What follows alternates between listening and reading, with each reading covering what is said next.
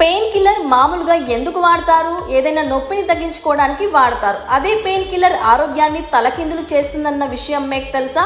అవును భారతదేశంలో ఏడు శాతం మంది ప్రజలు పెయిన్ కిల్లర్స్ తీసుకోవడం వల్ల కిడ్నీలు పాడు చేసుకుంటున్నారని ఎయిమ్స్ నివేదిక పేర్కొంది. నొప్పి నివారణ మాత్రలను ఎలా పడితే అలా వాడటం వల్ల యువకులు కూడా కిడ్నీ వ్యాధుల బారిన పడుతున్నారని నేఫ్రాలజిస్టులు హెచ్చరిస్తున్నారు. ఎయిమ్స్ ఢిల్లీలోని నేఫ్రాలజీ విభాగం చైర్మన్ డాక్టర్ భౌమిక్ ప్రకారం కిడ్నీకి ఉన్న అతిపెద్ద సవాలు ఏమిటంటే దాని డ్యామేజ్ని చాలా ఆలస్యంగా గుర్తించడం వల్ల డెబ్బై శాతం మంది రోగులలో కోలుకునే అవకాశాలు తక్కువగా ఉన్నాయన్నారు. ఏడు శాతం మంది పెయిన్ కిల్లర్స్ తీసుకోవడం ద్వారా కిడ్నీలకు హాని కలిగించుకుంటున్నారని పేర్కొన్నారు. మధుమేహం లేదా రక్తపోటు ఉన్న వ్యక్తులు సాధారణ అనలసిక్ నెప్రోపతిని అభివృద్ధి చేసే ప్రమాదం ఎక్కువగా ఉంటారు. అంటే దీర్ఘకాలం పాటు పెయిన్ కిల్లర్ ఎక్స్పోజర్ కారణంగా ఒకటి లేదా రెండు మూత్రపిండాలు దెబ్బతింటాయి. ఔషధం చికిత్స డయాలసిస్ కిడ్నీల మార్పిడితో సహా మూత్రపిండాలు చికిత్సకు అనేక ఎంపికలు ఉన్నప్పటికీ తీవ్రమైన మూత్రపిండ వ్యాధి ఉన్న రోగులు జీవితాలు తరచుగా కష్టతరంగా మారతాయి.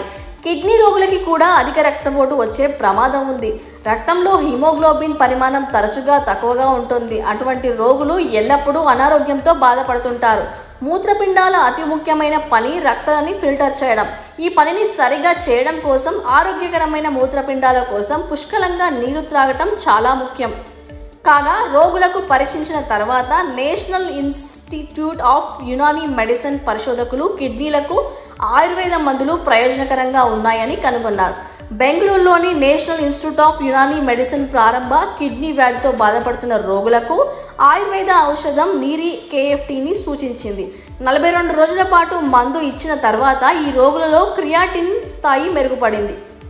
మూత్రపిండాలు రక్తాన్ని బాగా ఫిల్టర్ చేస్తున్నట్లు కూడా కనిపించింది. ఇక నీరి కేఎఫ్టీ అనేది పంతొమ్మిది మూలికలతో తయారు చేయబడిన భారతీయ ఆయుర్వేద ఔషధం. ఇందులో పునర్రవ గోహ్రు వరుణ్ పలాష్ గిలోయ్ మిశ్రమంగా ఉంటాయి. ఈ ఆయుర్వేద మూలికలు కిడ్నీలను శుభ్రపరచడంలో ముఖ్యమైన పాత్ర పోషిస్తాయి.